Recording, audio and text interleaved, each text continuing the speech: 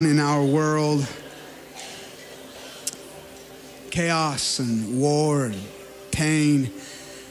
And in our own individual lives, we got stuff. And so, what do we do with it when we come to church? Well, we don't leave it at the door. Um, we also don't make it God. We don't put it on the throne, right? We allow Jesus to be on the throne and we bring all of it, whatever it is, to his feet. And we remember who he is. We, re- we recall his character. We recall his faithfulness. And so that's what we're going to do this morning. We're going to we're going to sing about who he is. We're going to welcome him into this place, into our gathering and into our lives and our world. And we're going to declare his praise. We're going to remember who he is. Let's take a minute now and just pray.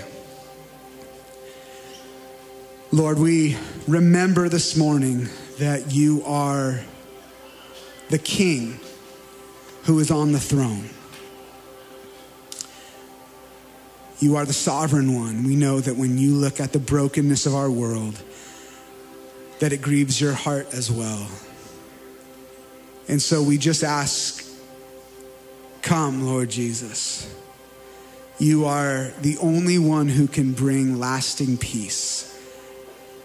We, of course, pray for the peace of the nations, but deeper than that, we pray for an internal, everlasting soul peace for every person who is involved in the wars happening right now. Because when there is peace inside, then it eventually leads to peace outside. But the, when there is conflict inside, it leads to conflict outside. And so we ask Jesus that you would reveal yourself to people, that many would be saved. Even now, I know it sounds like a crazy miracle, but that you would just turn people's hearts towards you. And that in doing so, that we would experience peace on the outside as well. And for our own lives this morning, we, we ask for the same thing. As we set our eyes upon you, Jesus, that you would bring peace into every situation and every, every thought and every emotion. We choose to worship you now. Let's just sing this together. Praise God from whom all blessings flow.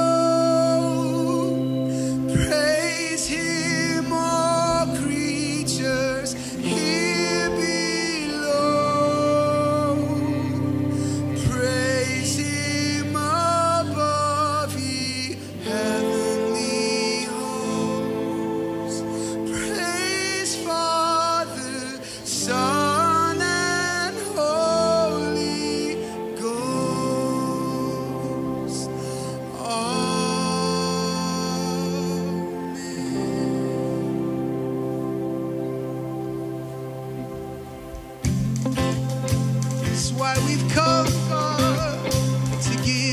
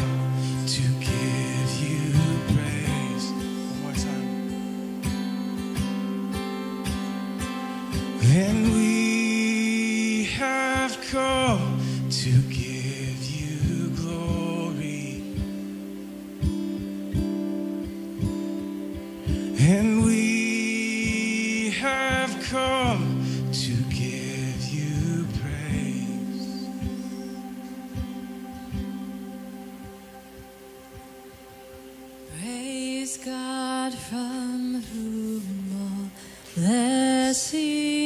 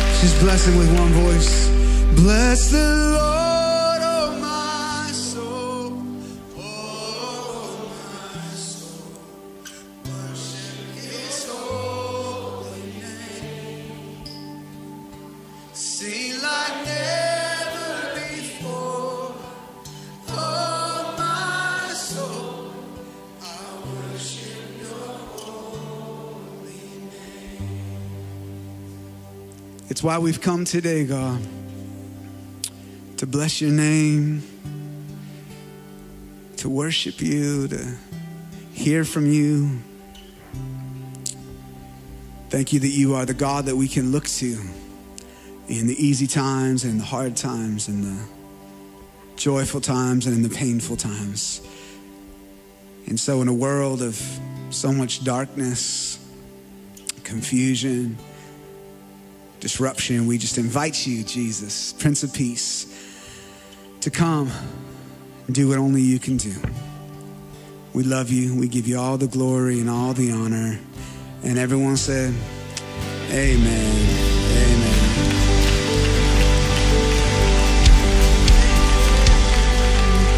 Amen. Well, hey, church, before you sit down, you got a couple minutes. Why don't you get to know somebody you haven't seen in a while? Introduce yourself.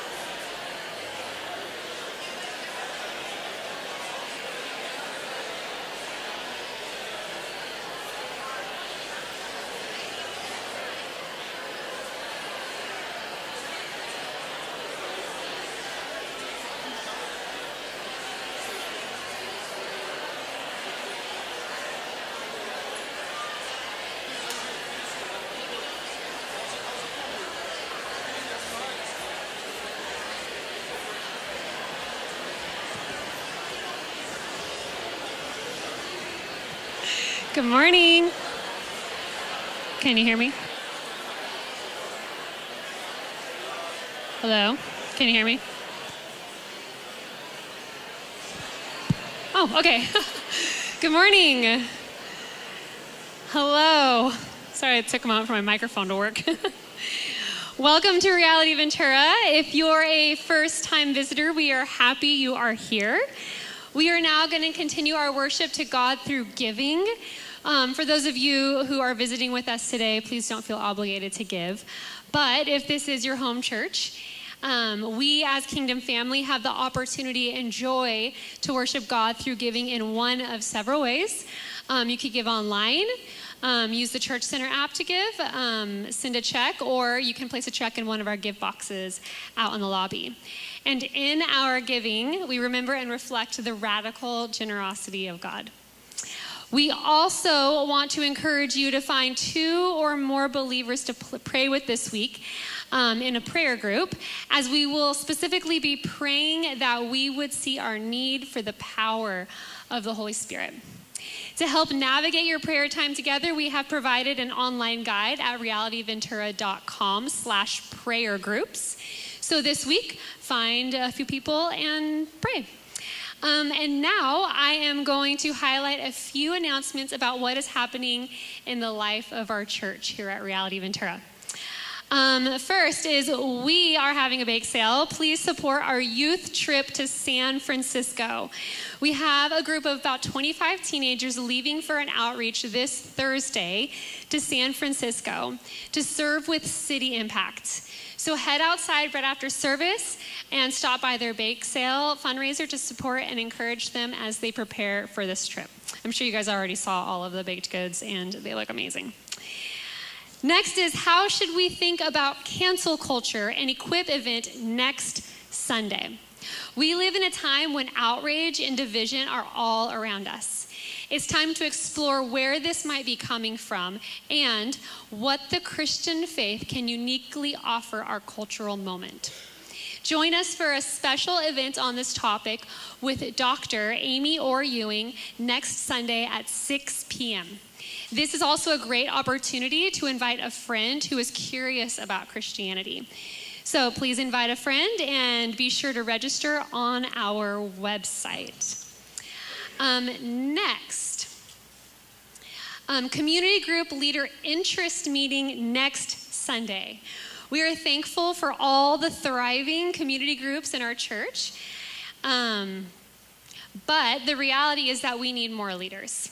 If you are at all interested in potentially serving as a community group leader, co leader, or host, please make it a priority to stop by the picnic tables after service next Sunday for a 15 minute interest meeting. So it'll be outside at the tables after each service. Now, I'm also giving announcements, which means only one thing. Um, for those of you who don't know who I am, my name is Anna Herring, and I am the Kids Ministry Director at Reality Ventura.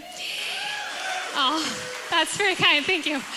But um, I am here to tell you that this summer, our kids ministry team needs your help. Now, it might seem like kids ministry is always low on volunteers, but that is actually not the case. For this current serving season, the Lord has provided almost everybody that we needed in order to run kids ministry safely, which is awesome. So thank you, you guys, um, so much for um, hearing that need and responding. However, it has also come to my attention that you guys may not fully understand how the kids' ministry serving seasons work and why I'm up here three times a year. So, what is actually happening is we recruit at three strategic times throughout the year because there are three different serving seasons in kids' ministry. We have spring, we have summer, and we have fall and winter. Spring is four months long, that's the current serving season we're in. Summer is three months long. That's the next one we'll be heading into. And fall and winter is five months long. So when volunteers commit to serve, they are committing to serve only three to five months at a time. Currently, like I said, we're in the middle of our spring season, and it's now time to pull together our summer team. Our of our spring team that we have, 46 are confirmed to recommit to summer. Um, but we need a total of 130 volunteers to run kids ministry safely and to not spread the volunteers too thin. This means, and this is a big number, that we are still looking for 84 more volunteers just for summertime. This is a big number. We are looking for people who love Jesus, who enjoy kids, and want to see the kingdom advance through this future generation. The types of volunteer roles that we're looking for this summer are class leaders, class assistants, worship leaders, teachers, and more. And we are especially looking for, um, hoping to find more sidekicks um, because we have a handful of amazing kids that need one on one support in their class. So, if you are interested in serving for just three months this summer, please go to the Church Center app or apply at realityventura.com to fill out an application by May 1st. Um, as you can see, there is a meme to help you remember what the deadline is. Um, so please just remember that if you want to serve, to please serve by May 1st. Okay. So, and now, as Bradley um, makes his way to the stage, please turn in your Bibles to the books of Book of Acts, chapter one, as we prepare our hearts to receive from God's Word. Good morning, church. My name is Bradley, and I have the privilege of serving on our visuals team. And today's scripture is from Acts 1 1 through 11 from the NIV. In my former book, Theophilus, I wrote about all that Jesus began to do and teach until the day he was taken up to heaven after giving instructions through the Holy Spirit to the apostles he had chosen. After his suffering, he presented himself to them and gave many convincing proofs that he was alive. He appeared to them over a period of 40 days and spoke about the kingdom of God. On one occasion, while he was eating with them, he gave them this command Do not leave Jerusalem, but wait for the gift my Father promised, which you have heard me speak about. For John baptized with water, but in a few days you will be baptized with the Holy Spirit. Then they gathered around him and asked him, Lord, are you at this time going to restore the kingdom to Israel? He said to them, It is not for you to know the times or dates the Father has set by his own authority, but you will receive power when the Holy Spirit comes on you, and you will be my witnesses in Jerusalem, in all Judea and Samaria, and to the ends of the earth. After he said this, he was taken up before their very eyes, and a cloud hid him from their sight. They were looking intently up into the sky as he was going, when suddenly two men dressed in white stood beside them. Many of, men of Galilee, they said, why do you stand here looking into the sky? This same Jesus who was taken, who has been taken from you into heaven, will come back in the same way you have seen him go into heaven. This is God's word. Thank you, Bradley. Keep those. Yeah, let's give Bradley some love. He actually read scripture at both services. It was so good. We had to have him twice. Um, keep those Bibles open to Acts chapter 1. Last week we began a new series. Uh, normally we go through books of the Bible, which we will do, but from time to time we'll take a break to focus in on a particular topic and look at the key passages describing that. And so we're looking at what does it mean to know and experience the power of the Holy Spirit in the life of a believer? Now, just a quick plug to supplement our series over April and May. There's a book we want to recommend. We're selling it at the Connect desk uh, out in the lobby. It's called Jesus Continued. Dot, dot, dot. Great title. Why the Spirit inside you is better than Jesus beside you by J.D. Greear. There's a lot of books on the Holy Spirit that are great. This is probably my favorite kind of all in one, just kind of covers everything. If you want to know more about what we believe as a church, this is an excellent book to grab. We're selling it at cost. It's at the uh, Connect desk out in the lobby. Last week, we looked at what it meant to be indwelt by the Spirit, and this morning, we're going to look at what it means to be empowered by the Spirit. So let's pray together and let's invite the Spirit of God to open our hearts to the Word of God. Heavenly Father, we thank you so much that you have not left us to live this life in our own strength or ability, but you have given us supernatural power to be changed from the inside out and to do the work you've called us to do. I pray today for every single person in this room that we would understand both our need for the power of the Holy Spirit and the abundant provision of that power through the presence of your Spirit, and that we would respond in reliance and trust. For those that don't yet know you, we pray this morning the gospel would be so clear to them that they would believe in Jesus Christ as Lord and Savior, the one who died for us, rose again, and will return. We pray all these things in His name. And everyone said, Amen. Amen. Well, on New Year's Day, millions of people begin their year by watching countless floats in the Rose Parade, beautifully and creatively decorated, drive across your screen in a remarkably organized fashion. But I learned recently that on one occasion, one of the most beautiful floats surprisingly sputtered out and quit, holding up the entire parade for what seemed like an eternity. While somebody could go and fetch a can of gasoline. The irony is that the float that ran out of gas was sponsored by Chevron, or as it was known at the time, the Standard Oil Company. And the irony for us should be easy to see. The float that represented vast oil resources ran out of gas. You can see where I'm going with this, friends. I can't think of a better illustration as an encouragement and a warning to the church, to us, A Christian is a person who represents an infinitely powerful God. But if we do not rely upon him, we will run out of power. Now, power is a tricky subject. We know that power can be used for good or for bad, to help or to harm. But according to the scriptures, the power that God provides is always purposed for good because it's intrinsically connected to Him, who He is, and what His purpose is for the world. And so the Bible clearly shows us that true power comes by being united with God through the good news of Jesus Christ. That's what the Holy Spirit is pointing every person toward. Well, how does this happen? What does it actually look like to be empowered by the Spirit? Well, that's what the author of the book of Acts that we have open to chapter one is telling us. His name is Luke. The birth of the church is a movement of the Holy Spirit. That's what Luke is recording.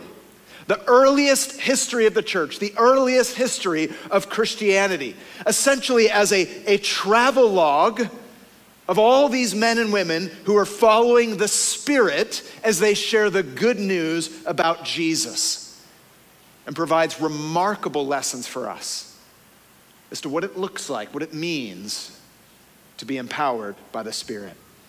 So we asked this morning how can we avoid living a powerless life?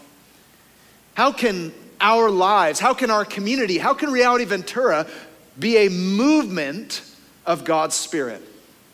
What does this text teach us? Well, three vital lessons that I want to point out today that we must take to heart. They're so simple, and yet they are so important.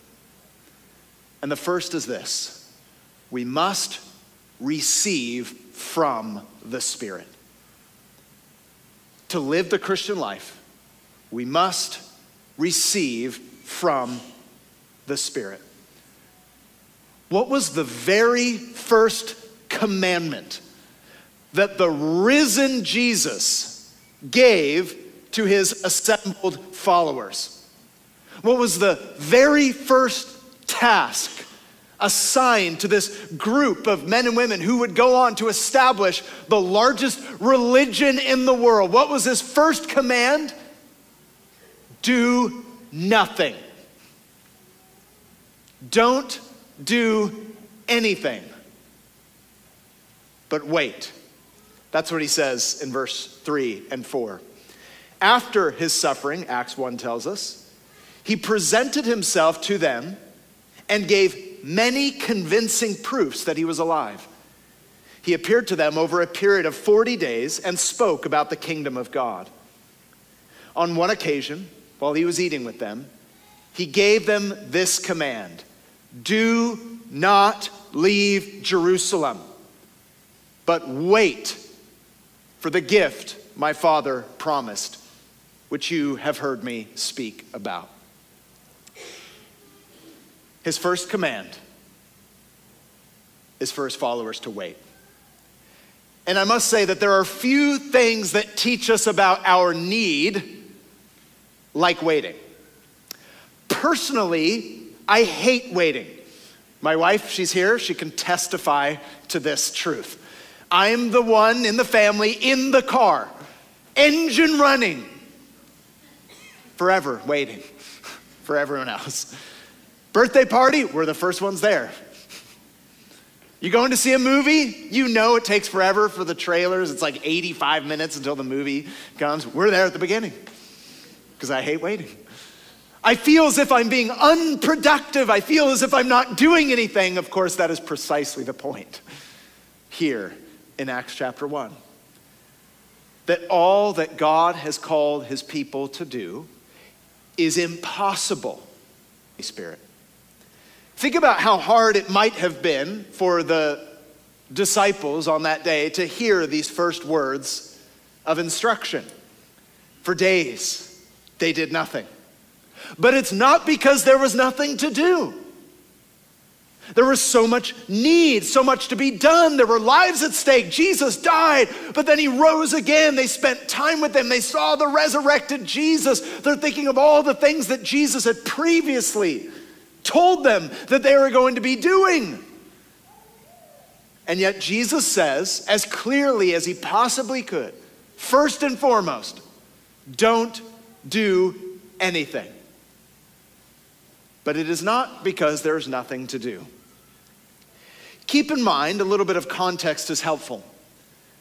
The Gospels clearly record for us that Jesus had been ministering for a little over three years, healing, preaching, leading, gathering, teaching, explaining, all the way to where he was unjustly tried and crucified on a cross where he offered his life as a sacrifice for the sins of the world and then rose again on Easter Day when he defeated death and the power of the devil. And now, before he ascends into heaven, he's been telling them that a new day has dawned. Men and women who would now follow Jesus and trust in him would be changed and would quite literally change the world. But first, don't do anything. But it's not because there's nothing to do. Because, friends, he's showing them and us that our purpose cannot be accomplished by anything that we can provide. All that we need to live out the Christian life comes from the power of the Holy Spirit. Let us remember that this should not have been news to the disciples. We learned last week, Jesus had told them on the night he was betrayed what life would be like without him being physically present. And the disciples were depressed. For, like them, we would think of how hard and difficult it would be to live this new life in the kingdom of God without Jesus being physically present. If you were only there, if you were only beside me, they might have said. But that's when Jesus said in John 16, verse 7, But I tell you the truth, it is for your good or to your advantage that I am going away. Unless I go away, the counselor or the advocate will not come to you. But if I go, I will send him to you. What could possibly be better than Jesus right beside them? The Holy Spirit inside them. That's what we learned last week. The Holy Spirit's presence is not the privilege of special believers, but a promise to every believer.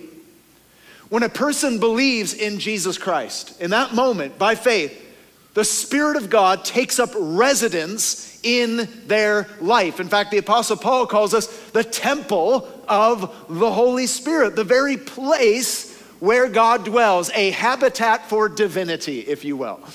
That's us when we believe in Christ. In fact, Jesus says here in verse 5 For John baptized with water, but in a few days you will be baptized with the Holy Spirit. We are to be immersed in the life of God. How is that going to happen? By the power of the Holy Spirit. This describes what happens when a man or woman puts their faith in Jesus. You're immersed into the life of God. We had baptisms last week, and how wonderful was that? It was amazing to see those people like publicly declare Jesus Christ. And as a symbol, they represent that through baptism, where you get dunked in the water and you come out. It's a picture of your old life being buried, new life raised in Christ.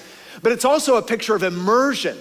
Like when we baptize those people, we say to each and every one of them, We baptize you as Jesus commanded us in the name of the Father, the Son, and the Holy Spirit and then being submerged is also a picture of you're going to be immersed in the life of God.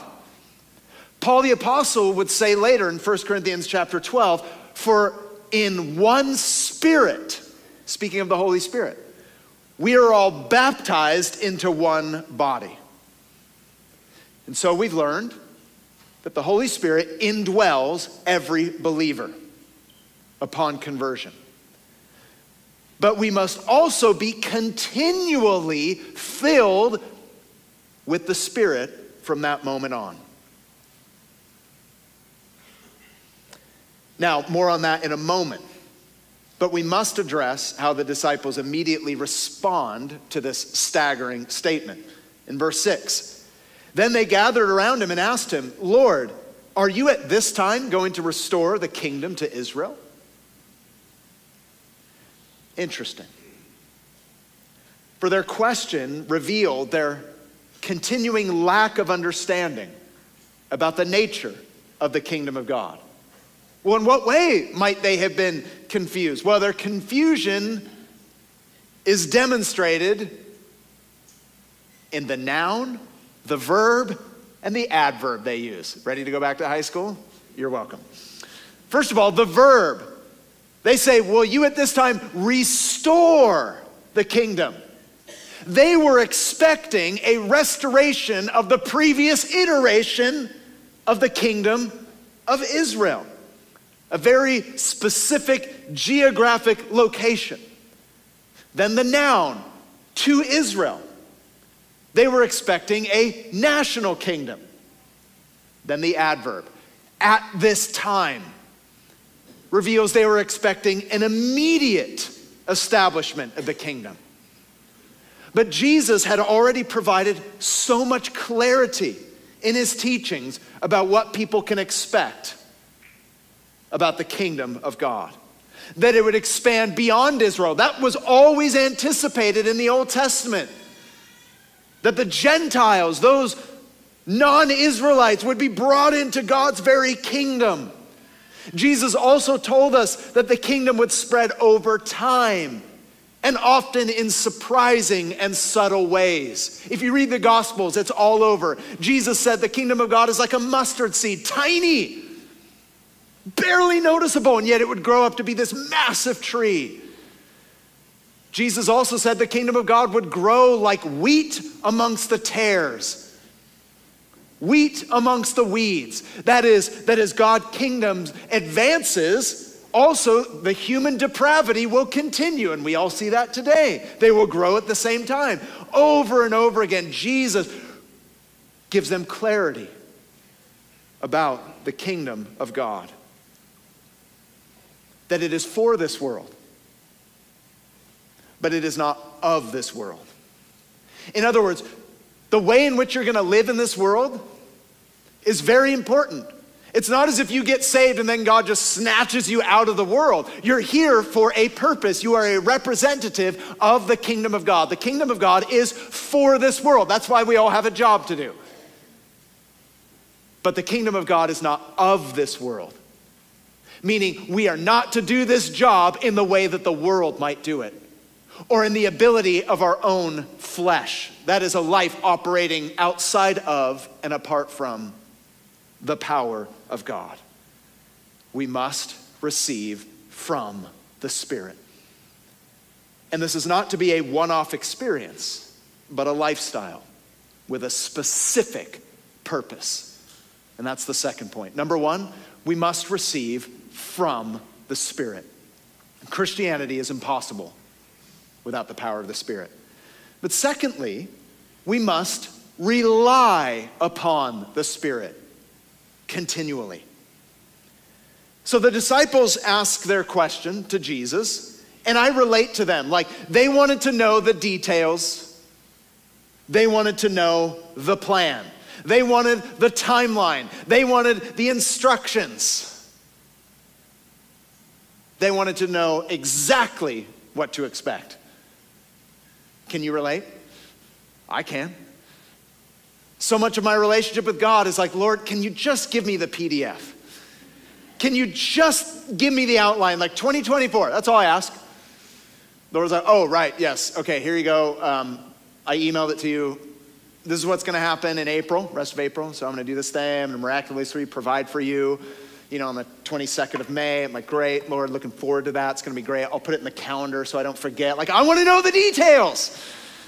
And all the disciples are like, hey, we want to know exactly what's going to happen. We want to know the time. We want to know the seasons. Many of us right now, as our world goes crazy, We want to know, like, well, when is it, Lord? When is the end? When is this? When is that? When does this particular thing happen? And Jesus, so frustrating to us. But with infinite wisdom beyond us, says to them, verse 7 and 8, it is not for you to know the times or dates the Father has set by his own authority. Pause right there for a moment. We think, no, it is for me to know. Isn't that how we approach God? It is for me to know. Lord, I want to know the times and the dates that you have set by your own authority. I think I'm entitled to that. But for God's vastly wise reasons, he says to them and to us, it is not for you to know. Now, friends, that's very important because have you heard that phrase? It's on a need to know basis. And if you needed to know, I would let you know. Have you ever had a boss say that? And you're like, whatever, of course I need to know. Clearly, uh, this is hard to receive, but it's true. If Jesus says we don't need to know, guess what? We don't need to know. But then he goes on to tell us what we do need to know.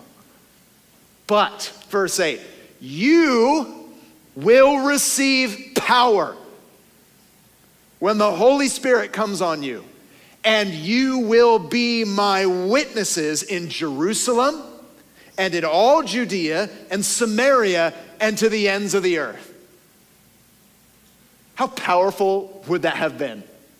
He's like, hey, it's not for you to know the times and the seasons, but you will receive power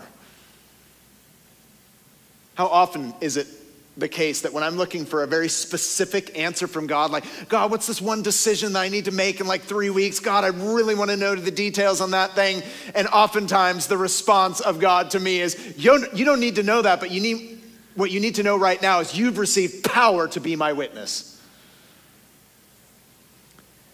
Here in verse 8, Jesus makes it very clear why we must continually rely upon the Spirit.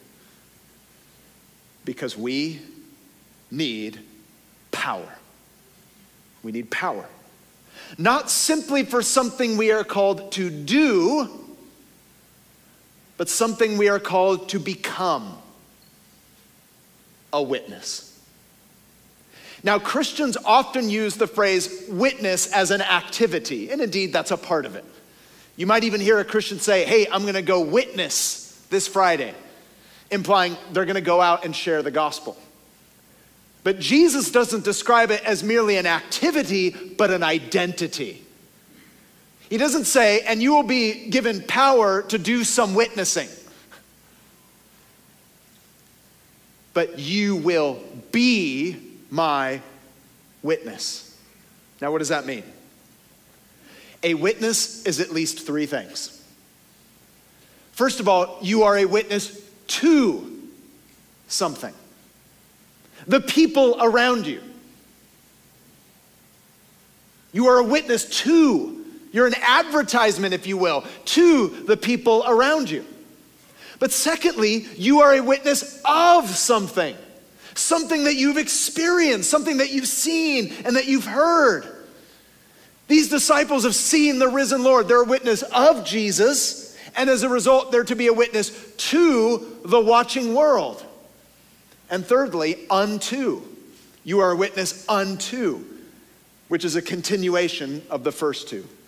Wherever God would take you, you continually do it. It's something that you will continually be.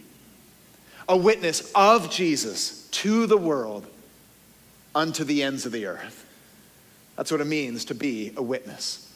In short, the whole of your life will testify about Jesus. In word and in deed, we are to be good news people, empowered by the Spirit. See, one of the great pieces of evidence that the Spirit of God is at work in your life is that you have a passion for the gospel. You want to be a witness of the transformative power of Jesus to the people around you, unto wherever he would take you. Some of you might ask, How do I know the Holy Spirit's working in my life? Well, one of the ways in which you know is you have this passion for the gospel. Like, oh man, the gospel, it's good news. It needs to be shared. It needs to be shared. But how do we do that in a way that's effective? Through a continual reliance upon the power of the Holy Spirit. It is worth noting the significant difference you see in the lives of these disciples before and after the Spirit comes. After receiving the Spirit that we learn about, if you continue to read through Acts, none of the disciples would tell you that it was better before. Because by the Spirit dwelling in them and empowering them, they would know the continual presence of Jesus with them at all times. So that when you live this life out and you are a witness of Jesus to the world, unto wherever he takes you, you know that something supernatural is happening. As D.L. Moody, one of the greatest evangelists in the history of North America, once said, There is no greater evangelist than the Holy Spirit. We preach to the ear, but the Spirit preaches to the heart. And any of you in this room that can remember the day that you made the choice to trust in Jesus Christ as your Savior, you remember when the truth of the gospel that's always been true became real to your heart. I remember, I'll never forget it. I was just sharing with our community group last week. I will never forget it. It was like the gospel that is true became so real to my heart. And I wasn't hearing the voice of the preacher, it was God speaking to me. Isn't that encouraging? When you think about this task of being a witness, it's the power of the Holy Spirit. Think about your family member or your friend or your colleague or that casual acquaintance that you know through school or a neighborhood, and they seem so shut off to the gospel. We'd be inclined to think, well, that's it. There's no way. Right? Think in your mind right now. I have a few people in my mind where even when I pray for them, I'm like, yeah, that's not going to happen. It's as if I have a conversion, conversionometer. like, what's the likelihood of this person meeting Jesus? Oh, well, 22% maybe. That's not a thing, by the way. Paul the Apostle was one of those. In fact, if you went back in time and asked around about Saul, the Pharisee, say, hey, on a scale of one to 10, how likely do you think Saul, who's literally putting Christians in jail and approving of their death, how likely do you think he'd be a Christian? No, no believer at that time would have said, oh, that's a solid nine. Nobody. Even, do you know the story? You read Acts, read the book of Acts when Saul gets converted. It's incredible, right? Even Ananias, the, God literally speaks to Ananias saying, Ananias, this guy Saul, he just got saved, go meet him. And, and Ananias is like, wow, audible voice of God telling me? I, I'm still not sure. Wait, sorry, is that Saul? Oh, Lord. Yeah, no, that, that can't be true. Because not even you can do something like that. And God's like, mm. Friends, how does this happen? How does the church grow? It's not through some program like, hey, we've got to have some really slick music, adequate seating. The temperature needs to be just right, and then we get them. It's not how the church grows. Read church history. Look at our church. It's freezing in here right now. but the Holy Spirit is at work. It's the power of the gospel. Nobody got saved because they're like, wow, you know what did it for me on Easter? The decorations. When I saw those flowers, I knew. I knew that tomb was empty the minute I saw those flowers. hey, don't get me wrong, I love some good flower arrangements. People work very hard to make those. How does a person cross from death into life as the Holy Spirit reveals their need for Christ. He's the greatest evangelist. But where might he take us to be a witness? Well, Jerusalem, Judea, Samaria, and to the ends of the earth. It's worth noting that this would include people and places that those disciples may have already dismissed. Just like you and I may have people and places that we've already dismissed as candidates for salvation. No, it won't happen there. Nah, it won't happen with her. Definitely won't happen with him. I imagine as Jesus said each one of those places, they went from like excited to not excited. Jerusalem, yeah, Judea, eh, Samaria, mm, ends of the earth, no. Jesus said, This is where I'm sending you. See, one of the ways in which you know the Holy Spirit is at work in your life is not only that you have a passion for the gospel, but you begin to own the mission. You're like, I'm a part of this mission, even to the ends of the earth. And as we rely upon the Holy Spirit, He shows us our place in this mission. He shows us our role in this mission and He empowers us to fulfill it. But we need to rely continually upon the Spirit. We need to be continually filled with the Spirit, is the phrase the New Testament uses. Now, some of you might ask wait a minute. You just said a person who puts their faith in Jesus has the Spirit inside of them. So, why do I need to be filled with the Spirit. Why does a Christian who already has the Spirit inside of them, why do they need to be filled with the Spirit? And at this point, you may be thinking of an analogy that many teachers have used of a water glass, an empty water glass, and a big jug of water. Has anyone ever seen this? A few of you. The empty water glass represents your life. The big jug of water, God. The water, the Holy Spirit coming into your life. Metaphors always break down, don't trip out on it. So the big jug of water fills this cup full of water. But if it's already full, how can it be filled again? I would suggest a water cup is a dumb analogy. but don't take my word for it. Take Wayne Grudem's word for it, author of his systematic theology. He says this Someone might object that a person who is already full of the Holy Spirit cannot become more full. If a glass of water, if, if a glass is full of water, no more water can be put into it. But a water glass is a poor analogy for us as real people. For God is able to cause us to grow and to be able to contain much more of the Holy Spirit's fullness and power. A better analogy might be a balloon, which can be full of air even though it has very little air in it. When more air is blown in, the balloon expands, and in a sense, it is more full. And so it is with us. We can be filled with the Holy Spirit and at the same time be able to receive much more of the Holy Spirit as well. You're all balloons. You're welcome. You're like, what if it pops? Analogies break down. you will not pop. You will never find anyone who says, you know what, I just was too full of the Spirit. And if you do, just ask their spouse, because they'll probably say, no, they definitely were not full of the Spirit.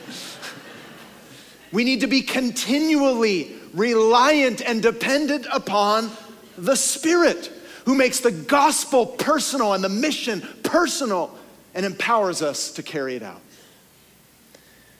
Now imagine inserting your name in this passage. Make it personal. Tim, you are called to be my witness. You, fill in the blank, are called to be my witness. You know the Holy Spirit is powerfully at work in the church when the gospel and mission of Jesus becomes personal for every member. So, friend, do you know what part of the mission belongs to you? Have you asked? There's no spectator Christianity. Has this grand mission of Christ become personal for you? I'm amazed when I read the book of Acts and the birth of the church, how the gospel spreads often through ordinary members of the church. Ordinary men and women, extraordinarily empowered by the Holy Spirit to be a witness in every aspect of life. So think practically. Think about your career in relation to the mission of God. Ask for the power of the Holy Spirit in that area. Think about your friendships and relationships in relation to the mission of God. That's a part of your witness. Ask for the power of the Holy Spirit to carry it out well. Think about your money in relation to the mission of God. Ask for the power of the Holy Spirit to lead and guide how you use your money for this mission. All of life is to be a witness. How? By the power of the Holy Spirit. Now, how do I rely upon the Spirit? Well, we're going to talk about that in many ways over the coming weeks, but let's keep it simple for now. Seek to do what Scripture says and ask for the power to do it in prayer. Let's start there. Seek to do what Scripture calls you to do, and in prayer, ask for the power to do it. Prayer is one of the most practical aspects of this. You see that pattern in Acts. They pray and they are filled with the Spirit. They pray and they are filled with the Spirit. They pray and they are filled with the Spirit. Because in prayer, we are relying upon God. Many years ago, over 20 years ago, when my wife and I made the decision to join reality to plant a church, Britt Merrick, who was the lead pastor at the time in Reality Carpinteria, and along with the team, we'd agreed yes, we're going to move to, Los Angeles, we're going to move to Hollywood, we're going to plant a church. And I said, hey, what's the next step? I was thinking we'll just move to LA and we'll just start a Bible study. And Britt said to me, no, you're going to move to Carpinteria. I said, I don't like Carpinteria. I said, you're moving anyway. I said, why? Said, because we're going to pray for a year. And at first, my flesh, was like, no, just get it started, man. I'm like waiting. And he said, because nothing of kingdom significance is going to happen apart from prayer. And so we moved and we prayed every week for a year. As we pray, it was one of those lessons. I had to wait, I had to wait in prayer when we pray, whether it's on your own or in a weekly prayer group or in a larger meeting, it's an intentional way that we recognize our need for the Spirit of God. Seek to do what Scripture says and pray and ask for the Spirit's power to do it. That's how revival comes. It's through this crying out to God, it's showing our dependence on Him. Prayer, if you're looking at this in the most human terms possible, prayer is a waste of time, right? From like a non spiritual, non Christian perspective, prayer is a total waste. Why would you pray? Just get out there and do it. But if we really believe that God hears our prayers and He acts in response to our prayers so that He gets the glory, we get the good, and that we become more dependent on the Spirit as we pray, then it is absolutely non negotiable. Martyn Lloyd-Jones, who was one of my favorite preachers from the last century, who wrote many books, preached in London, wrote a lot on revival. He said this Conservatives would rather work to reform church theology and practice. Intellectuals doubt supernatural intervention. Rationalists dismiss emotional enthusiasm. All convene committees and organize campaigns, but few will plead for revival? What would it look like for us to pray and to plead and to ask to become more effective? God delights to answer. You might say this morning, Well, I don't feel comfortable sharing the gospel, or I'm not that good with confrontation. I'm not really good with my words. I understand.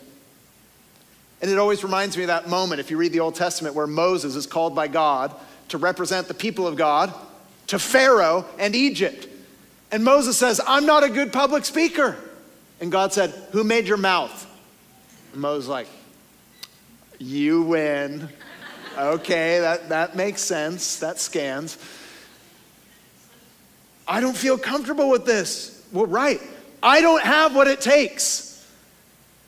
And friends, I say this to you in the most loving way possible. You do not have what it takes. Thank you for coming to my TED Talk. right? You're not going to hear that. You don't hear that in the culture. It's like, you've got this. In the Bible, it's like, you don't. You absolutely do not got this.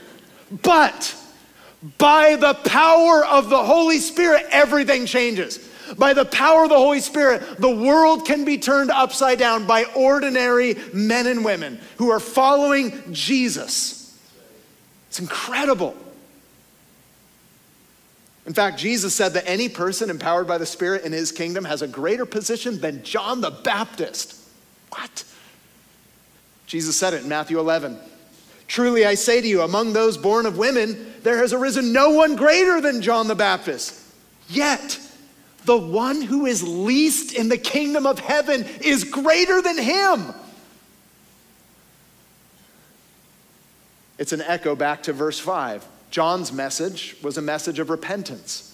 But unlike John's baptism, people who trust in Christ would receive the Holy Spirit. We must rely upon the Holy Spirit. So, where are we drawing our power from? We must receive from the Spirit, rely upon the Spirit. But this is not about some kind of impersonal force. And that's the third point we must relate to the Spirit. The Holy Spirit is the third person of the Trinity, not an it. He guides us, helps us, speaks to us, and manifests God's presence among us. But oftentimes we relate to the Holy Spirit like we relate to our internal organs. We know they're there, we know they're important, but we don't often think about them.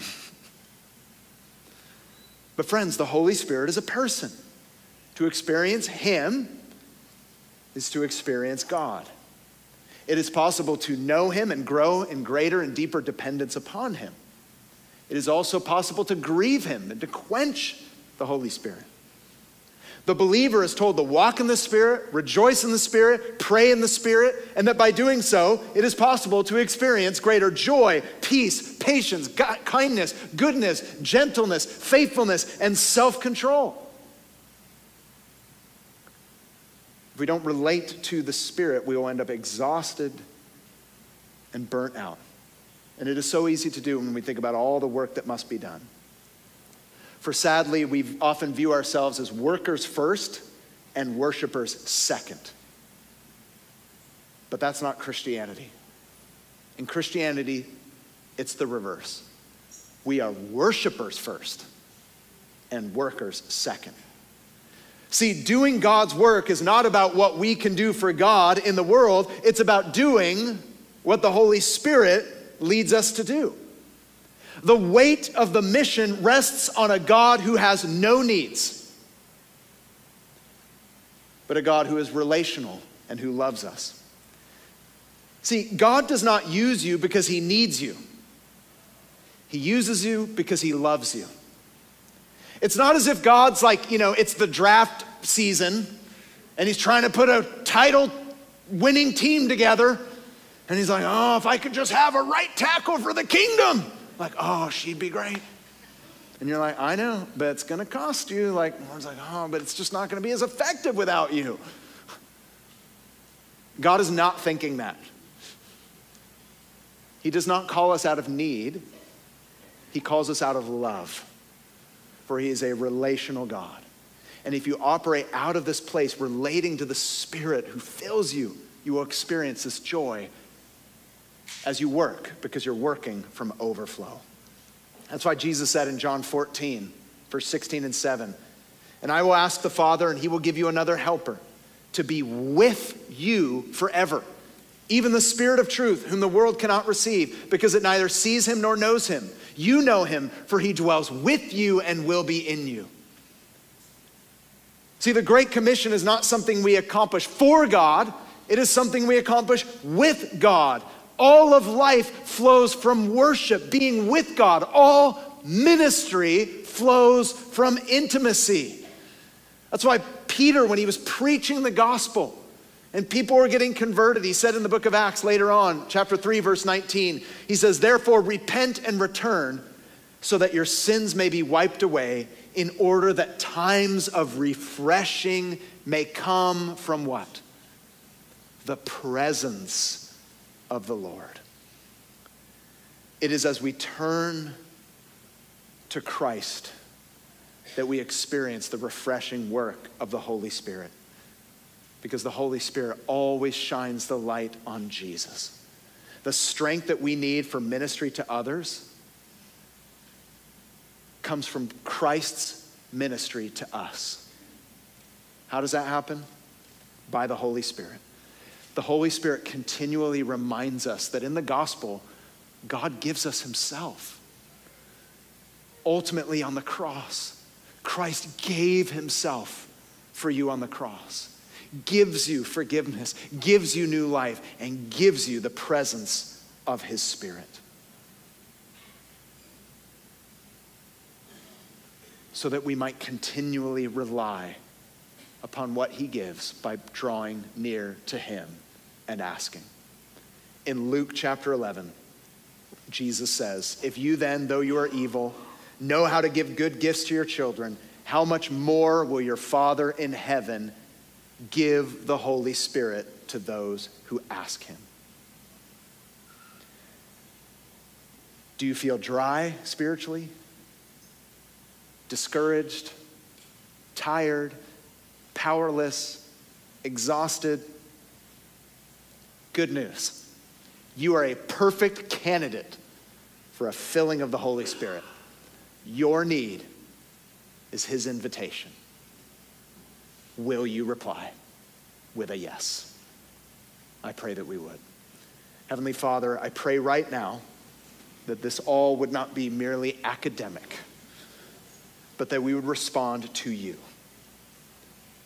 I pray that your Spirit would shine a light on the areas where we need to rely upon your power. For some, that could be our marriages, our parenting, our parents, our friends, our spouse, our work, our neighbors,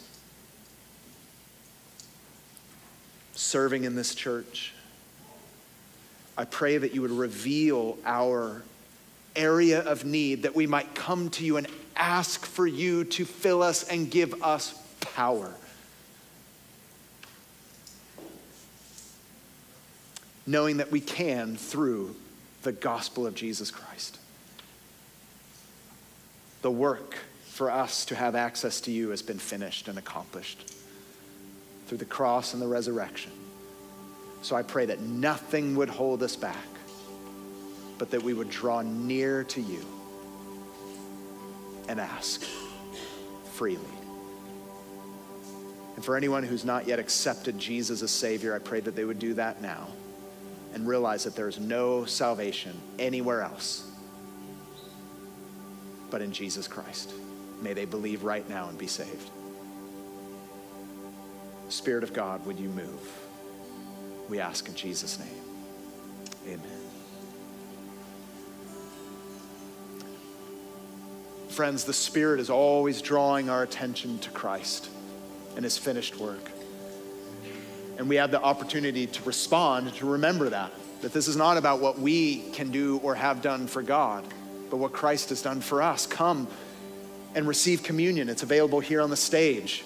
The symbol of the bread and the cup represent Christ's body broken for you, his blood shed for you, the gift of salvation freely offered to you at infinite cost to himself. Come and receive. It's like as we physically eat, we're feeding by faith on Christ. Come down to the carpets and lift your hands in, in worship, like palms out, like I got nothing. right? There's something beautiful about physical posture in worship. Like that's why we often hold our, our hands like this, because we've got nothing, but we're ready to receive. Come and worship. You can kneel on the carpets. And by all means, come to pray with the men and women to my right and to my left on the prayer ministry. They're wearing the prayer lanyards. You can't miss them. Where do you need power in your life? Where do you need power in your ministry? What area do you feel exhausted and dry and burnt out? Come up and pray with them. What have you got to lose? Come and pray and just say, Man, I need the power of God in this area of my life. Don't let anything hold you back from praying today. And as we sing, let us lift our voice to the God who gives us the greatest gift by giving us Himself. Let's cry out to Him. Let's praise Him. Let's adore Him because all ministry flows from intimacy. So let's draw near to Him now.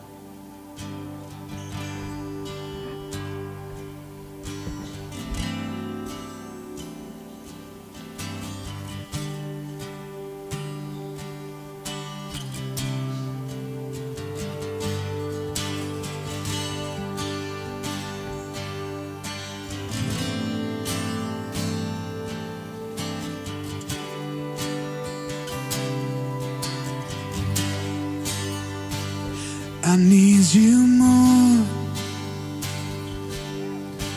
more than yesterday. I need you more,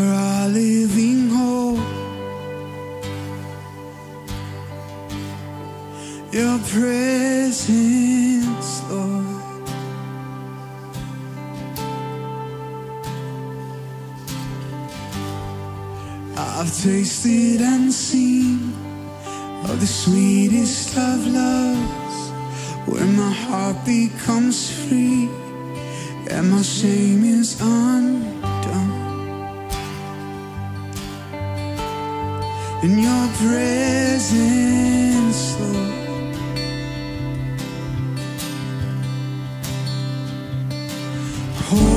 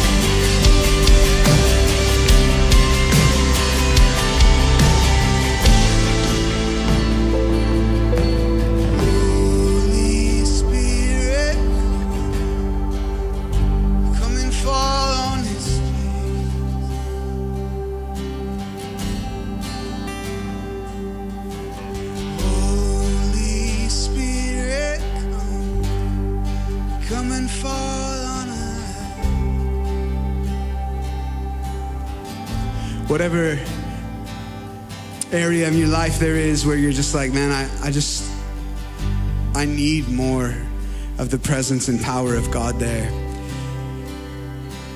Why don't you just identify it for a second? We're going to sing this again before we move on. Why don't you just identify that place? Maybe it's a relationship, maybe it's a situation, maybe it's some kind of internal thing happening in you.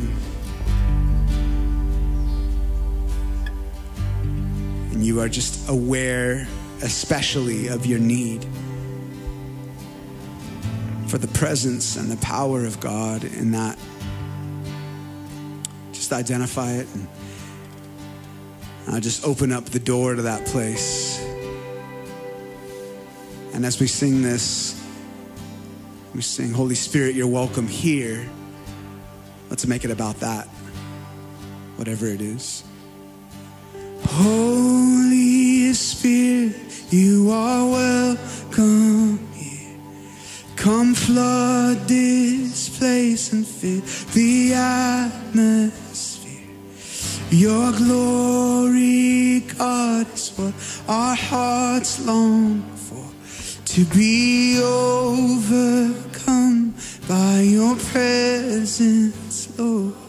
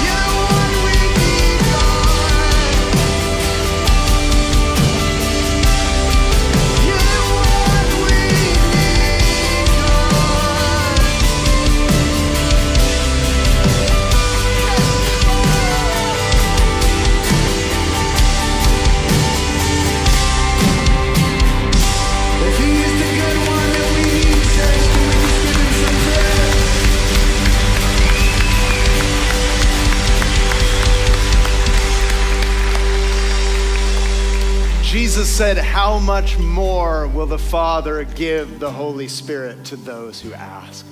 What a wonderful God we serve. Let us be those who ask as we go. Heavenly Father, we do ask for more of you, more power in our lives to be your witnesses to wherever you would lead us with the power that you provide. May we be dependent people, spirit filled, testifying to the life changing power of the gospel of Jesus as we go. We love you and we're so grateful for this good news. In Jesus' name. And everyone who agreed said, Amen. Let's give it praise.